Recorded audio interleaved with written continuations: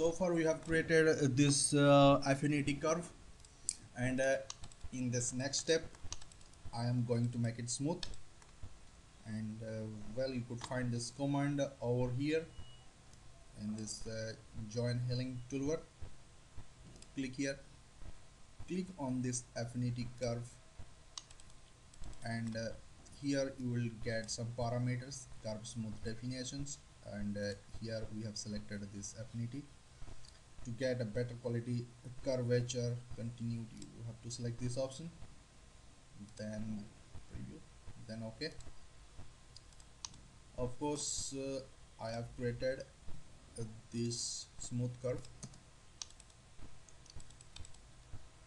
So the parameters uh, here uh, uh, default parameters I have used. Only I've selected this curvature continuity so in the next step I have used the smooth uh, sorry project. I have projected this curve on this surface. So now let us come to this project command. You could find this command somewhere at this place. Project. And in toolbar uh, insert wireframes project. So click here. Need to click uh, sorry I did. Uh, click the curve that you would like to project you wants to project. Here you will get two options normal and along direction. And uh, in my case I have selected this option along direction.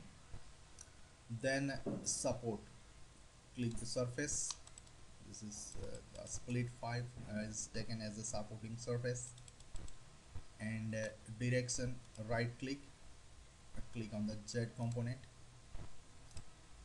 So this curve is projected on the surface. Anyway uh, this is the projected curve. Here you get options like curvature also. In this uh, you could get a curvature continuity curve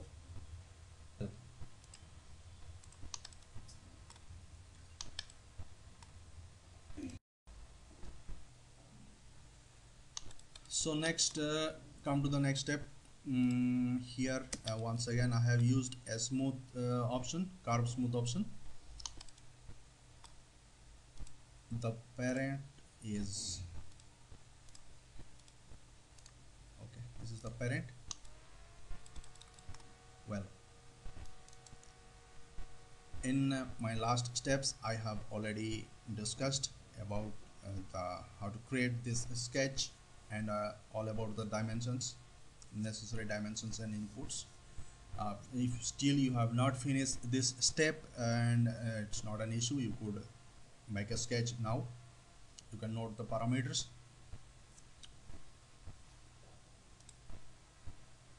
Well uh, this is the uh, so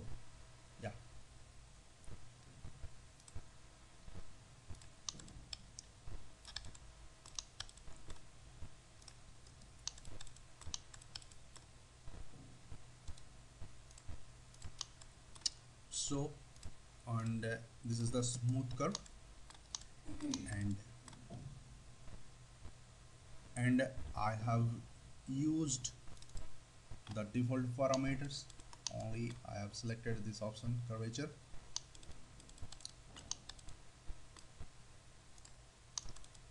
Next. In the next step I have used the project command once again. I projected this curve on the surface along this z direction. So I'd like to once again repeat this command.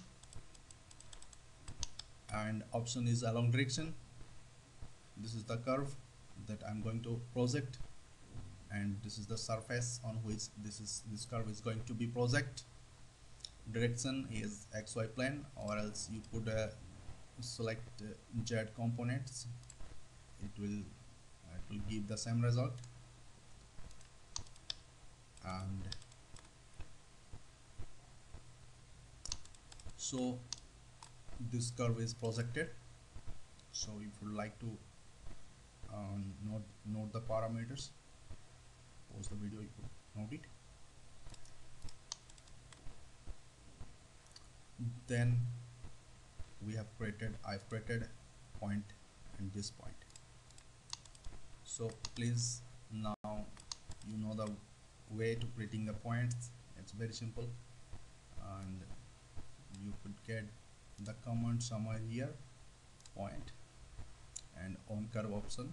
You could find a lot of options in this uh, command in this dialog box.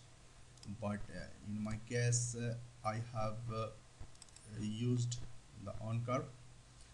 This is the curve on which this uh, point is created. And uh, starting point is this if it is not coming in your case this is the starting point. You could click here to toggle between both points. Next. Please note the parameter. It's 3 mm. Then I've created another point. So this is the point.